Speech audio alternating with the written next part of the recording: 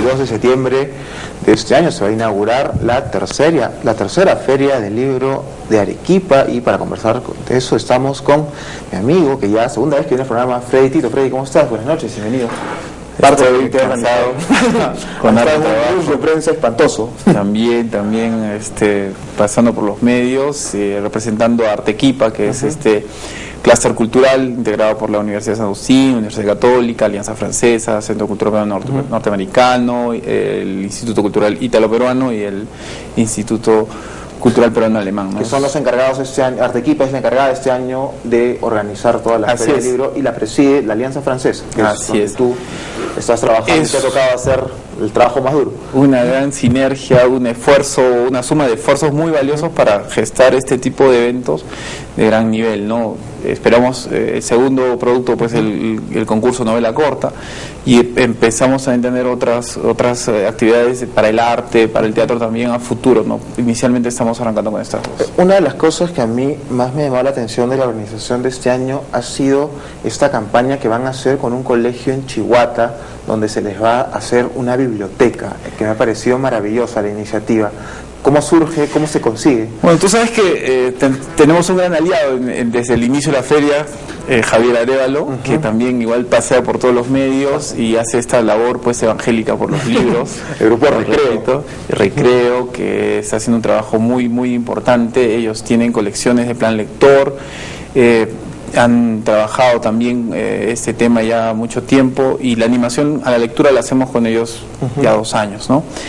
Y este año eh, cumpliendo estas expectativas de responsabilidad social eh, que teníamos desde el inicio, eh, ya hemos plasmado esto en, esta iniciativa muy importante que se llama Mi primer libro, mi primera biblioteca.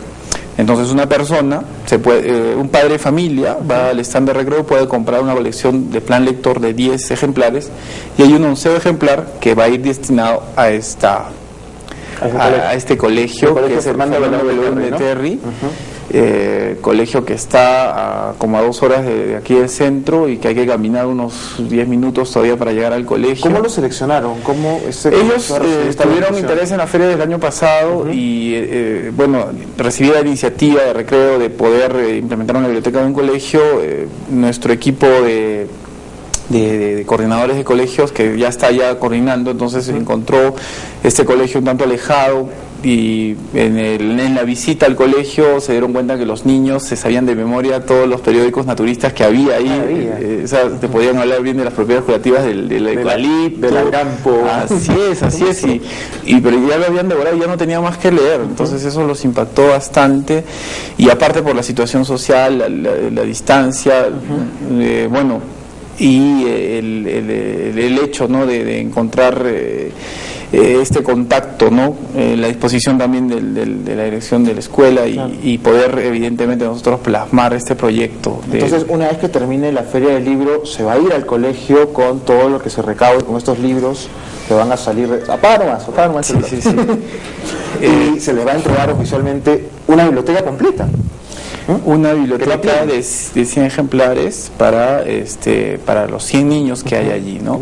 No podemos este precisamente pues darle al niño, tenemos que darle una institución, claro, claro, este pero sí, es un trabajo que ya la, lo habíamos pensado desde un inicio de la feria y que estamos concretando con esta alianza estratégica con Recreo, con quienes ya participamos de una actividad donde tú estabas también de Te leo porque te amo, ¿no?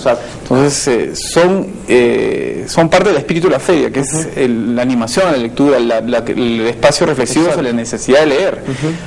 El, tema editorial, el tema de ventas es, es importante también y se puede medir, pero en lo que nosotros eh, queremos incidir siempre es en el tema de la promoción de la lectura. Ese es el espíritu de la feria, mm, más allá de, más allá de lo comercial, ir más allá de lo comercial. Eh, apuntar eh, este tema sobre los jóvenes. hemos tenido 3.500 escolares en la segunda edición, no, eh, 7.000 escolares. y ahora 1.500 en la primera, 7.000 y ahora queremos 15.000. llegar a 15.000. Y no es que pasan por la feria a ver los libros, no, no. Sino que van a hacer talleres, animaciones, participan de cuentacuentos, de show de títeres y toda la temática está en torno al, al, al mundo, al universo del libro y eh, evidentemente salen, la idea eh, es que salgan tocados por el libro, ¿no? O sea, vayan eh, después a ver los stands, hay anécdotas algunas simpáticas donde les dicen, no, gastes tus cinco soles en el libro, cómprate, eso es para tu refrigerio, ¿no? Algunas cositas que hemos visto. Pero son cosas que vamos a, hay, que educar a, la población, tenemos que crear este espacio yo recuerdo a niños el año pasado, yo los entrevistaba para un programa de televisión y me decían, hemos venido a leer hasta morir. Tenían seis años los chiquitos, iban a leer hasta morir, una maravilla.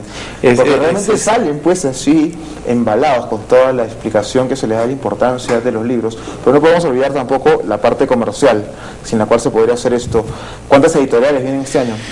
Eh, bueno, eh, expositores tenemos hasta ahora, ya cerrando todo, eh, 52 tenemos expositores en 74 stands. ¿Ha crecido en espacio la feria? En metros cuadrados tenemos 4.200 metros, del año pasado estábamos por los 3.500, hemos crecido también para tener más espacios lúdicos, ¿no? de animación a la lectura, el, área de expresión artística también más grande, mejorando las, eh, lo que, todo lo que son auditorios y algunos errores que bueno eh, y algunas superando algunos detalles que hemos tenido eh, por, algunas percances bueno humanos que siempre hay en la feria. No, pues la tercera feria usted es todavía muy joven para Sí, sí. Que todo salga perfecto. Eh, la experticia de eventos culturales nos ayuda, el soporte también, pero o sea, no se, no se conoce todo, ¿no? Siempre hay algunos detalles que se escapan, pero de todas maneras eh, lo bueno de esto es que también nos integramos con jóvenes voluntarios, ahora muchos ya son cabezas de grupo y ellos están muy involucrados en el tema de marketing, de prensa,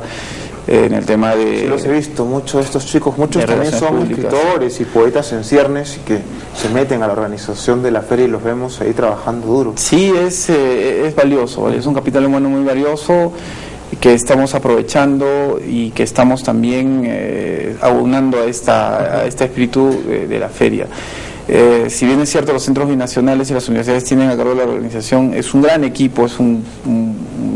¿Cuántas personas terminan trabajando para la feria? Serán unas 50 solamente para el tema organizacional en, lo que es la feria. Que va este año hasta el 8 de octubre, ¿verdad? 4 eh, de octubre. Hasta el 4 de octubre. Hasta el 4 de octubre tenemos una variada actividad cultural y recalcar que es el acceso totalmente libre. Cierto. Una persona eh, va... Ahí, justamente vemos algunas imágenes de lo que ha sido ferias pasadas, estuvo la visita de Beto Ortiz, la Sarita, el concierto de la Sarita, que son otras de las actividades este, claro. la gente, que convoca más gente, ¿no? evidentemente el centro es el libro, ¿no? El escritor que hace una publicación puede venir a una editorial o puede ser independiente y ya mencionamos algunos nombres. El otro bloque es el bloque musical, que como tú dijiste está bastante nutrido este año también, claro que sí, para Viene Daniel F, vamos diciendo algunos nombres. Viene Daniel F, que aparte va a presentar un libro. Un libro también sobre Viene Huicho García, vocalista de Mar de Copas. Viene Miki González, que va a cantar y además se le va a hacer un homenaje. Está grabándose un CD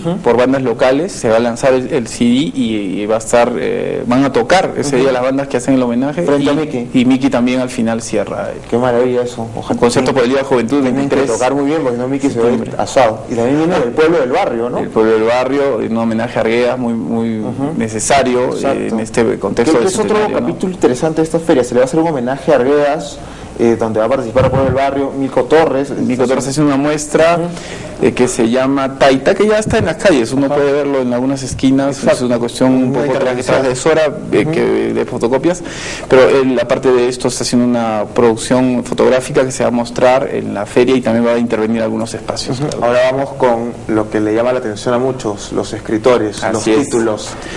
¿Quiénes vienen? Bueno, el más fuerte, pues bueno, eh, Alfredo Brais Echenique, que viene a presentar una edición conmemorativa de Un Mundo para Julius. 40 años. Así son como 100 páginas de, presentación del libro, está, maravilloso. Y eh, evidentemente, pues este eh, va a estar, además de la feria, que es el 24 a las 7 de la noche, su presentación va, va a tener una participación con jóvenes en la Universidad de San Agustín el día viernes 23 y el viernes el sábado 24 en la mañana en la Universidad Católica. Va a tener una participación ahí. Está viniendo entonces tres días para... Él va a estar desde el jueves ya, pero va a estar un poquito aclimatándose, tú sabes, ¿no? Un poco, tiene, digamos, una salud un poco endeble, hay que, hay que cuidarlo. Ahora, ¿quién más viene? Sí. Bueno, del, arrancamos la feria el 22 con Carlín, el, con este, Carlín del Horternal, ¿no? Pues este, este, compendio de caricaturas, pues bueno, del gobierno pasado. Después sigue el viernes Rodrich en el Estelar. un libro que les cuento voy a presentar yo, he sido invitado por la editorial de Gustavo Rodrich para presentar su libro, y lo cual agradezco mucho. ¿Quién más? Así es, así es. Eso es el viernes, el sábado Bryce. Eh, al mediodía del sábado está Daniel F. Eh, va a presentar el libro, precisamente también hace el concierto. La noche del el viernes, 23 es el concierto por el Día de la Juventud con este, este grupo Tlon, que llega a Lima, ah, con bandas locales, eh, como Gallina Manfly, y después el, el, sábado es el homenaje a Perdón, no, no, no, es un concierto, no es homenaje, es un tributo a, a Cerati por bandas locales, ah, la noche, la noche del sábado y la, la, noche del domingo ya es una cosa ya más familiar. Toca Sacramento, Elmo Riveros que viene de Lima, cantante de, épocas. Es una feria juerga, ¿no? Una feria fiesta familiar. También, claro que sí, la familia tiene que ir, eh, en este caso todos los públicos, ¿no? Evidentemente eh, nuestro tal vez de este año son los jóvenes, en este caso niños y adolescentes, ¿no? Que, se enganchen al libro y atraparlos, Así que es, que, vean a los autores, que los toquen, que, firmen sus libros. Evidentemente lo más importante es que los lean. Ahora viene también el amo y señor de la prensa peruana, el que lo ha hecho todo, César Hildebrand. Eso hasta la segunda semana, ¿no? Ya está César Hildebrand también. Está confirmado ya. Confirmadísimo con una nueva publicación de Tierra Nueva. Eh, él fue del segundo más vendido de la primera feria. La primera feria. El primero fue Bailey. Eh, son como 700 ejemplares. Esas 700 ejemplares de Bailey, preguntabas hace rato, y, y tuvo como 600. Vino con cambio de palabras. Sí, cambio de palabras. Sí, ahora presenta otra. Eh, no tengo la cabeza el título, pero presenta una nueva publicación, ¿no? Eh, también, bueno, hay otro bloque de autores, son como 50, eh, también hay internacionales, Sergio Marchi. Ese, viene el biógrafo de Charlie, García. García. debe haber sido un poco complicado traerlo, porque tengo entendido que viene a presentar la novela, el trabajo que ha hecho sobre Papo. la biografía de Papo. son, es un, eh, un especialista en, en, periodismo del rock, ¿no? Además tiene una cátedra sobre esto en la universidad. Y bueno, eh, bueno, ha sido muy abierto, muy fácil eh, poderlo, poderlo, poderlo contactar. Eh, ya está totalmente confirmado su participación. También está llegando de México. Montiel, Mauricio Montiel de México, un galardonado escritor, gracias al Fondo de Cultura Económica también para presentar una, una conferencia y un libro. de Uruguay está llegando una escritora, Ana Solari, también para presentar un, libro bajo el sello de Santillana. Y eh, tenemos también eh, Jürgen Golte, que es un alemán. Un antropólogo. Una, una, cosa muy, muy importante, trabajo sobre la cultura moche y aparte una sobre los jóvenes limeños del siglo XIX, me parece que es dos, dos, dos libros que va a presentar importantes. Y bueno, eh, sigue la lista, ¿no? Sigue creciendo. Está Alonso Cueto, con Fernando Iguazati, uno de mis escritores favoritos, que qué pena que no pueda venir en carne y hueso. Una editorial ah, local, Aquelarre, ¿no? este, está presentando precisamente eh, un libro, una publicación eh, con este autor y lo a través de la tecnología lo, lo, lo, vamos Él está en España. Está en, España. Nos hubiera gustado traerlo, hacer las, las, las, las todos los esfuerzos, pero eh, es un tanto complicado. Y el presupuesto también nos juega en contra. Sí, sí es es, un esfuerzo malabares para que de todas no maneras, se pierda la plata. De todas maneras, ¿no? Eh, en plata son 400 mil soles exactos, pero en gestión son más de 100 mil, yo diría 150 mil soles. Y en trabajo, capital humano que, que, se mueve, ¿no? O sea, es, es bastante fuerte. La, la feria eh, en sí eh, tiene aportes eh, de los eh, organizadores, también la región que está este año también aportando también 150 mil soles, que es eh, muy valioso también. Y mejor usado el dinero de gobierno regional, creo yo. Es la sociedad civil, ¿no? La que tiene, que yo estoy convencido de eso, de mano de la ciudadanía, proponer estas cosas. Arequipa se lo merece, una feria de este nivel, con, con estos invitados. puede seguir y evidentemente, claro, eh, eh, tenemos que hacer toda esta labor sobre la lectura.